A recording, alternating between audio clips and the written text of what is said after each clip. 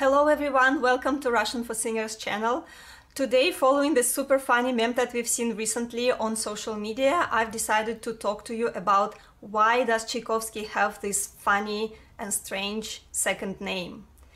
Well, in fact, in Russia everybody has this second name. It is called patronymic name and it is formed based on our father's names.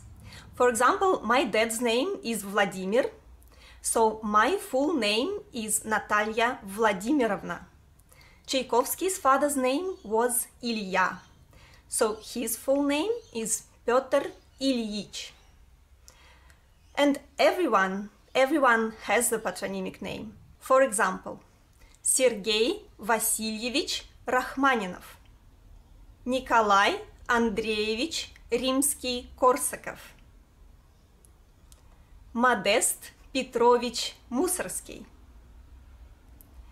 Дмитрий Дмитриевич Шостакович, Сергей Сергеевич Прокофьев, Анна Юрьевна Нетребко,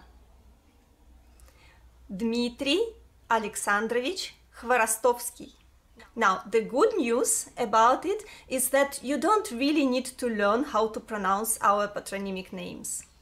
Although they are still widely used in Russia, when we travel outside, we usually don't use them. We just go with our first names. So it is perfectly fine to just say Pyotr Tchaikovsky.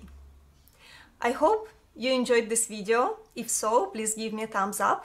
Subscribe to my YouTube channel, follow us on Instagram and Facebook, and thank you for singing Russian music.